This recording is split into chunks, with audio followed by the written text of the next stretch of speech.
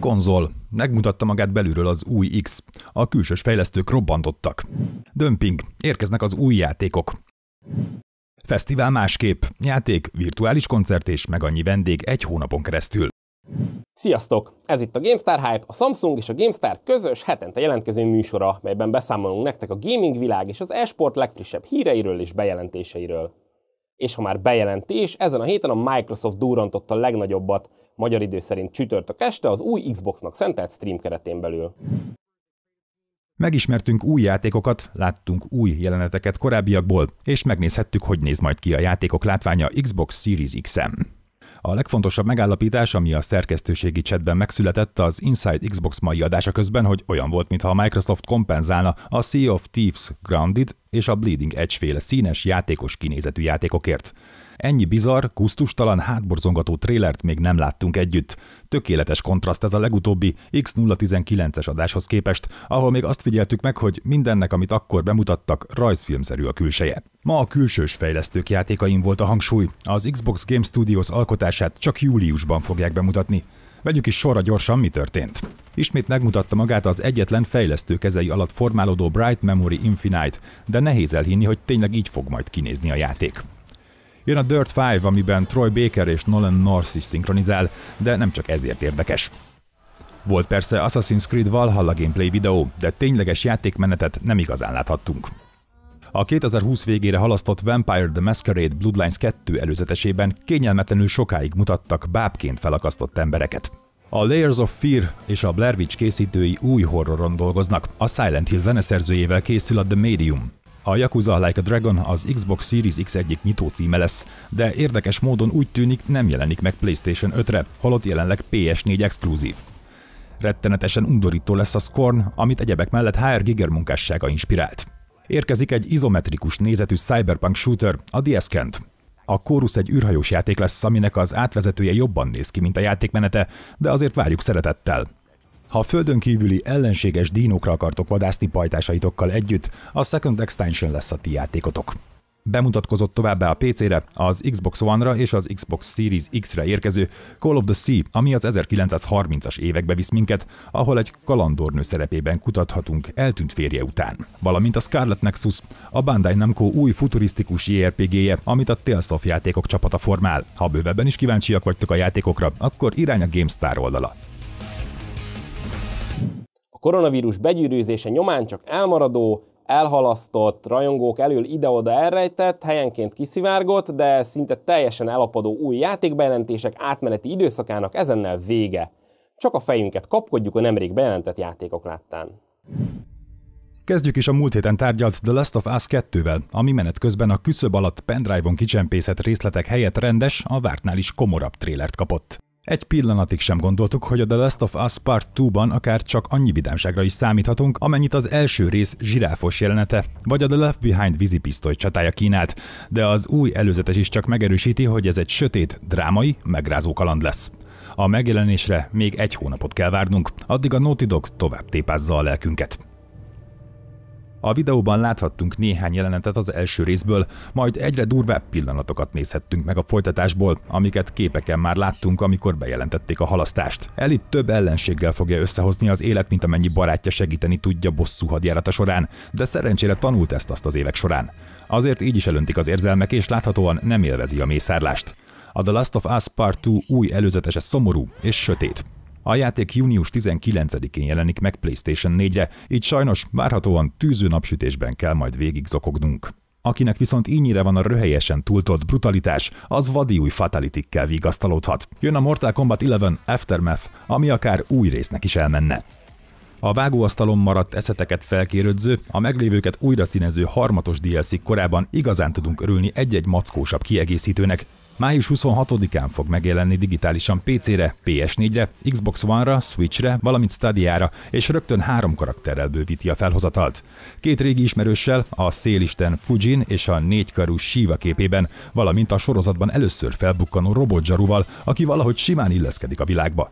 A történet egyenesen folytatása az MK11-ben megismerteknek, az időutazó képességekkel felszerelt harcosok a múltba utaznak, hogy megmentsék az Earthrealmet a pusztulástól. Shang Tsungot ismét Keri Hiroyuki Tagawa alakítja majd, aki a filmben a korábbi visszatérésekor is játszotta őt. A robotjaru pedig szintén az eredeti színész Peter Weller lesz. You are under arrest, dirtbag amilyen ikonikusan gyatra film született a Mortal Kombatból, a másik irányból érkező gyűrűk ura játékok egész jól szoktak sikerülni, így a most bejelentett új adaptációnak is reményekkel nézünk elébe, ugyanis megérkeztek a következő, a gyűrűk ura játék első képei. Amíg arra várunk, hogy valami a Battle of Middle-earthhez vagy a Return of the Kinghez hasonló érkezzen, izgatottan figyeljük a Daedalic Entertainment féle The Lord of the Rings Gollumot is, melyet kimondottan a következő generációs konzolokra készítenek. Azzal sem árulunk el nagy titkot a cím alapján, hogy a játék a Sauron kedvenc bizsujától diszociatív személyiség zavarba és nyershal diétába süllyedő nyálkás ex-hobbit kalandjaira fókuszál majd. A német GameStar közzétett pár képet, amiken láthatjuk, mit hoztak ki a fejlesztők az Unreal Engine 4-ből eddig. Ez még persze csak a kezdet, a megjelenés 2021-re várható, de már most jól mutat. Új Prince of Persia játékon dolgozhat a Ubisoft. A jelek szerint hamarosan bejelentheti a Ubisoft a következő Prince of Persia epizódot. Nemrég már szóba került a Gandhi.net, vagyis a Ubisoft doményeit kezelő cég, hiszen ők jegyezték be az Assassin's Creed Valhalla.com webcímet, még az Assassin's Creed Valhalla hivatalos leleplezése előtt. Nos, most sem tétlenkednek, legújabb webcím bejegyzésük pedig több mint beszédesnek mondható. Ezúttal ugyanis a princeofpersia6.com doménre csaptak le. Ennek fényében pedig nem tűnik esélytelen feltételezésnek az, hogy bizony már nem is vagyunk olyan vészesen messze a következő Prince of Persia játék bejelentésétől. Ha ez tényleg így lenne, akkor már csak egyetlen dologgal maradna adósunk a Ubisoft, az új Splinter Cell epizóddal. A Prince of Persia szériát egyébként Jordan McNair indította útjára még 1989-ben. Nagy feltámadását a The Sands of Time széria hozta el, legutóbb pedig a 2010-es Prince of Persia The Forgotten Sands-ben találkozhattunk vele. Már ha nem számítjuk a 2018-as Prince of Persia Escape mobiljátékot. Közel egy millióval nőtt a VR felhasználók száma a Half-Life Alyx miatt. Várható volt, hogy a Half-Life Alyx sokaknak megadja majd a lökést a VR vásárláshoz. A játékosok már a tavalyi bejelentés után is elkezdték elkapkodni a készleteket. Remélhetőleg jönnek még olyan játékok, amik miatt érdemes lesz megtartani az újonnan beszerzett eszközöket, vagy éppen még tovább növelhetik a felhasználói bázist. A Road to VR által a Steam-től származó adatok alapján becsült számok szerint április folyamán 950 ezerrel nőtt azok száma, akik VR headsetet csatlakoztattak a gépükhöz. Köztük lehetnek olyanok, akik már korábban megvették, vagy épp csak kölcsönkérték az eszközt, de ezt a Steam adatai nem egyértelműsítik, nem is tudják. Nem kérdés, hogy sokan a Half-Life Elix miatt szálltak be, ami március 23-án jelent meg. A Road to VR azt is megállapította, hogy egyelőre a felhasználók 1,91%-a 2,7 millió fő rendelkezik valamilyen PC és VR eszközzel. Az Oculus termékei 44,6%-kal a legnépszerűbbek, a HTC áll a második helyen 30,3%-kal, a Valve Index pedig a harmadik 11,9-el. Mivel a Vive is részben a Valve fejlesztése, így Gabe Newell cégek két termékkel is az Oculus nyomában lohol. Kérdés, hogy képes lehet-e egyetlen játék életet lehelni a rendszeresen fellángoló, majd újra és újra erőtlenül elhajított gerej módjára földbe álló virtuális valóságlázba. A hivatalos Star Wars weboldalon robbantották a Star Wars nap alkalmából a hírt, miszerint a Thor Ragnarökkel a Disney epikus mörzsgyárában már bizonyított Taika Waititi bizony rendezni fog valamikor a jövőben egy új Star Wars filmet, amit ráadásul legalább részben ő is ír. A forgatókönyvet vele együtt az 1917 írója Christy Wilson Cairns jegyzi. Egyelőre nem tudni, hogy Waititi filmje megkapja valamelyiket a három már bejelentett Star Wars premier dátumból, 2022, 24 és 26 decembere ugyebár, vagy csak valamikor később, 2026 után számíthatunk rá. Nem lennénk végtelenül meglepve, ha az utóbbiról lenne szó, hiszen első körben még a Thor Love and Thunder-t kell leszállítania a rendezőnek. Természetesen most még a frissen bejelentett Star Wars film címét sem lehet tudni, illetve a történet kapcsán sem lettünk okosabbak, de az új-zélandi rendező önironikus humora biztosan része lesz a messzi-messzi galaxisnak. Roman, do you remember that day? Yeah. How'd you get How'd you get through it? I told you never to talk about that. Well, I mean, he didn't shout at me, funnily enough. Right. good, good answer. Now, continue with the other things I told you to say. PewDiePie kitart a YouTube mellett, miközben sok streamer inkább a Twitch vagy épp a Mixer felé csábul el. 2017-ben még nem PewDiePie volt az a reklámarc, akit a YouTube szívesen kirakott volna a kirakatba. Rasszista megnyilvánulása miatt ekkor letiltották PewDiePie videóit, a Disney és a YouTube is szerződést bontott a világ legismertebb videósával, sőt, magába a platformba vetett hirdetői bizalmat is alaposan megrázta a balhé. Nos, a jelek szerint pár év és az élő videós szájtok fegyverkezési versenyének felső sebességbe kapcsolása elég volt ahhoz, hogy mindenki elássa a csatabárdot. A Washington Post értesülései szerint ugyanis PewDiePie és a YouTube exkluzív szerződést kötöttek, melynek értelmében a népszerű videós a jövőben csak és kizárólag ezen a platformon fog streamelni.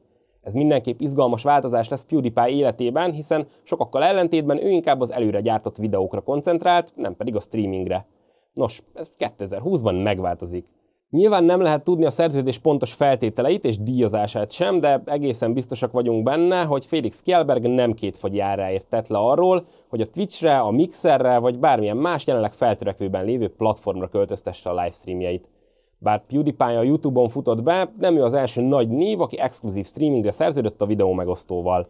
Tavaly az egyik legnépszerűbb Fortnite streamer Jack Courage Dunlop igazolt át a Twitch-től és vitte magával milliós követőbázisát. A nagy streaming háború egyértelmű vesztese eddig a Microsoft Mixer platformja, akik hiába csábították magukhoz a Twitch krémjéből Ninját és Shroudot, alig fél százalékot nőtt a piaci részesedésük az elmúlt évben. Az ISL a napokban jelentette be, hogy a 2014 óta a Cségó versenynaptár monakói nagydiának számító ISL One Kolon idén elmarad a járványhelyzet miatt. Egészen pontosan a versenyt online bonyolítják le, de a legendás Kölni Lanxess Arena idén nyáron üresen kong majd. Az ausztráliai Melbourne-be tervezett IEM versenyt pedig teljes egészében lefújták. Emlékezetes módon idén márciusban pont a másik kiemelt ISL verseny, a Katowicei Intel Extreme Masters rájátszása előtt fújta le az összes rendezvényét a városvezetés, így a játékosok akkor még a színpadon, de nézők nélkül játszották le a meccseket. Némi vigaszt jelenthet a csalódott rajongóknak, hogy az eddig megváltott jegyek jövőre is érvényesek maradnak. Bár az élő közösség hiánya a hangulaton érződött, a néző számokon egyáltalán nem. Sőt, az ISL történetének egyik legmagasabb, 1 millió fölötti nézőcsúcsát hozta a G2 Navi döntő.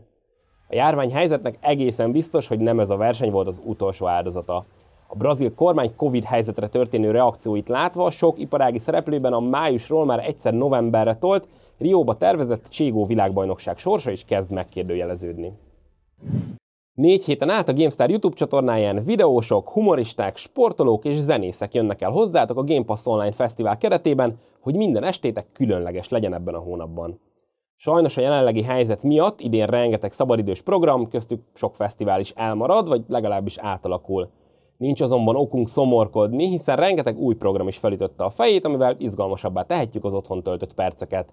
Épp ezt a célt szolgálja a Game Pass Online Fesztivál is, amelynek keretében eddig még soha nem látott szórakozás vár titeket minden este, legyen az játék, zene vagy beszélgetés. A koncepció egyszerű. Minden este 7 órától kis Imi és jó magam élőadással jelentkezünk a GameStar YouTube csatornáján. Azaz, hogy nem mi, hanem sztár vendégek. Olyan ismert streamerek néznek majd be, mint Sirius, Dave, Szalaisti, Paplovag vagy épp videójáték Zsolti, hogy belekóstoljanak az Xbox Game Pass kínálatába. Mellettük olyan arcok is felbukkannak majd, mint Baska vagy Mogács Dániel, de ha arra vagytok kíváncsiak, hogy Gangsta Zoli hogy veri le Majkát Pesben, hát ez is a program része. És ha már a zenészeknél járunk, péntekenként exkluzív karanténkoncertekkel készülünk, ahol élőben fellép Lotfi Begi, a The Biebers, az Ivan and the Parasol és a Kilakik itt. Többen közülük soha nem adtak még online koncertet, szóval ez egy egészen egyedi kezdeményezés, reméljük, hogy szeretni fogjátok. Hétvégén aztán egy kicsit nyugisabb, de semmivel sem unalmasabb programra váltunk. Szombatonként megidézzük Kisimi Unlimited sorozatát, ahol ismert sportolókkal, színészekkel, zenészekkel és stand beszélgetünk majd az élet nagy dolgairól. És hogy ne maradjunk gaming nélkül, vasárnaponként a Checkpoint Podcast készítői és visszatérő vendégei, például Mazur és HP beszélgetnek majd a videójátékipar jelenéről és jövőjéről. A műsort a GameStar YouTube csatornája mellett az Xbox Magyarország Facebook oldalán is követhetitek, de érdemesebb nálunk, hiszen ezt a csetet figyelik majd a streamerek. Kedvenc streamereitek sorsát pedig továbbra is a kezetekbe vehetitek a The Game is Your Choice keretében. A soron következő áldozat pedig nem más, mint a Counter-Strike, PUBG és mockósajt legenda Kodiak. Bár még mindig igyekszik szélsebesen kattintani a fejeket, egy kis gyorsítás neki is jó jön a Samsung Evo 970 SSD-vel és a 240 Hz-es IVET gaming monitorral, amit akár ti is megnyerhettek, ha őt vagy a többi versengő streamer támogatjátok valamelyik Game is Your Choice versenyen. Ez volt a GameStar Hype, jövő héten ismét jövünk egy rakás játék és esport hírrel. Addig is ne felejtsétek, irány a leírás, csapjatok le a legjobb ajánlatokra az ott található linkeken.